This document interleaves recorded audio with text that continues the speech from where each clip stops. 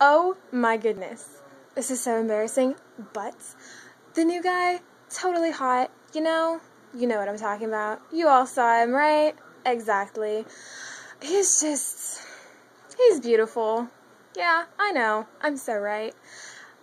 Oh my goodness. I don't know how I'm gonna get get him. I just I don't know. He's just scrumptious, actually.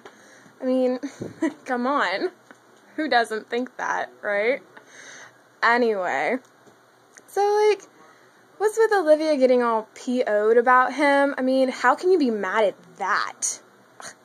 So weird, I know. And what's with that Carly Thurman girl? She just ran away from him. I would have never run away from him.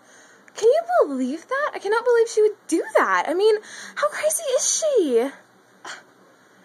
People are just, people just don't know anymore. I mean, come on. When you see a beautiful guy, you talk to him. You don't just run away. I guess I'll just have to do it tomorrow since no one else seems to want to. But then again, that just means more for me, right? Yeah. uh, I just don't know what else to say because I mean, that's it. It's so simple. He's just beautiful, just adorably handsome.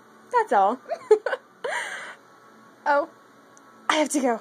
I'm going to post this so everyone knows.